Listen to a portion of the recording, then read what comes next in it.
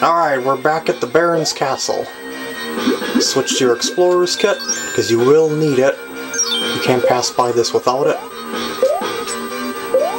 Ceiling's far too close. First real obstacles, is a spike ball, get down here, duck, get over, duck again, because you can't jump twice, the ball will hit you, it's set up that way. Go up, uh, go through that chain, and pass the fire. Now, there's another swinging ball right up there, look out for it. And go up, up, and through here. Uh, oh boy, can't do it. Okay. And next room. Now there's gonna be ghosts coming out of these uh, knights, so be lookout for them, but you could just walk right past them. Here's a shop door, but those things suck. Especially when you got unlimited continues. Oops. I probably should have my uh, cowboy suit out, but eh. The Explorer's kit's much, much better. Now there's two doors, this one and one ahead. You have to go in both of them and beat both bosses to continue. This is the Juggling Weasel, or whatever you call him. You remember how to beat him. Just jump on his head, when he throws the fire, jump on him, over the, jump over the fire and onto his head. Oh, he turned right at the last second, you suck.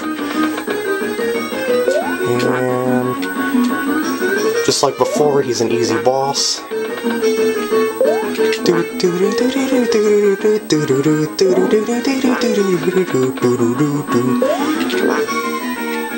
And one more hitch to it. Oh, come on.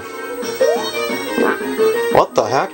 Does he take more hits? I guess so. Ah, there we go. Okay, we move on. Now it's going to put us behind where that door was. See, that's the door up there. Then you come down here. Then there's another door coming up. Look out for the ghosts. Next one, you have to switch to the cowboy outfit. And it's Baron, Baron Pete's painting, Pete's painting, whatever you call it. You remember? I mean, remember this boss. So he's gonna shoot out the glowing eye thing first to bring some books alive. When he pops out his head, shoot him, jump over the books. And when he shoots fire, get to one of the edges and shoot him when he pops his head downwards. Like that. Mm, get to the other side, opposite of the books.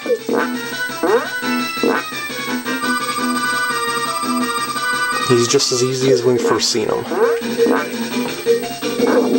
Just like the juggling weasel.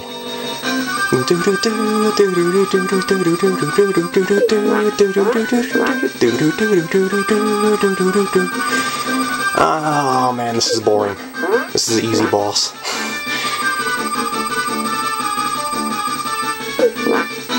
Ah. Come on, I can't be too much longer.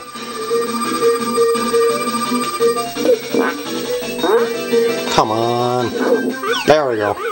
This time I'm not getting hit by the fire. Jump up, and we are through to the next area. Get your explorer's kit out. You'll need it.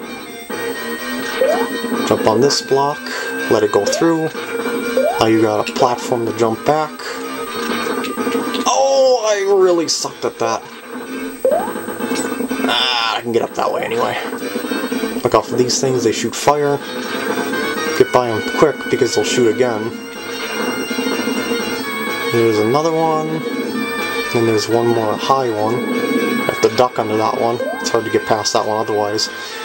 Now activate both these two blocks here. Oh, hey, why didn't that one activate? Okay, jump on this one here. Now you got two platforms to get through in case one fails. But we made it on the first one. Get past these cannons. They shoot in kind of like an arc formation with the uh, parachute, cannonballs, whatever that explode. So they're pretty easy to get past and predictable. And we are at the final boss of the game. So get your uh, cowboy suit out.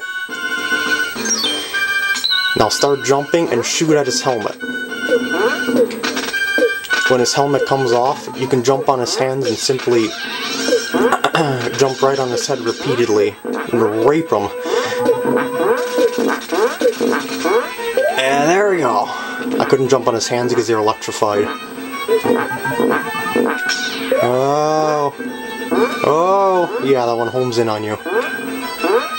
And we're back. And he's already dead. We beat the game. Or did we?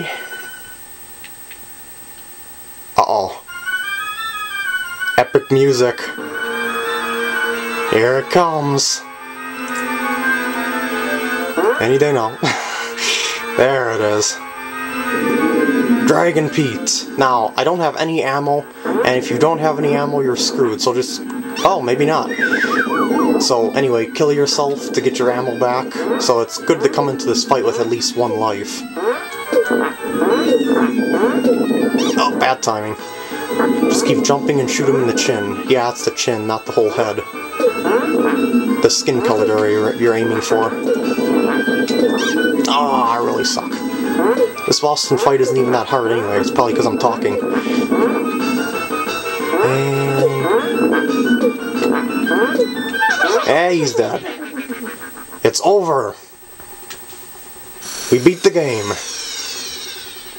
And here's the ending.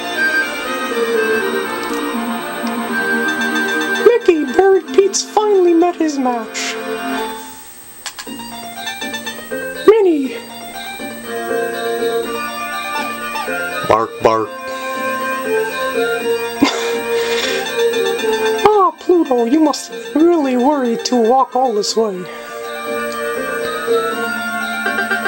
Congratulations. You've saved us all from that dreadful Baron Pete. Thanks to you, we can get back to our simply spooky lives. Yeah, that's because you're lazy, Ghost. You could have shot up that boss with your own... Arrgh. Thank you, Mickey and Minnie. Hey, I almost forgot about this ball here. Pluto, wanna play catch? Bark. Mickey! Just watch this throw. Mickey should be like a quarterback for the NFL. Just watch this. Holy cow. I mean, it doesn't just disappear. It disappears past some mountains. I mean, jeez. Those mountains have got to be thousands of miles away. Oh, that's cute. Well, just you and me and our pals. Isn't it wonderful? No more evil ghosts or Baron Pete. What do you say we head on home? And next thing you know, they're on a bus. And uh-oh, there they are!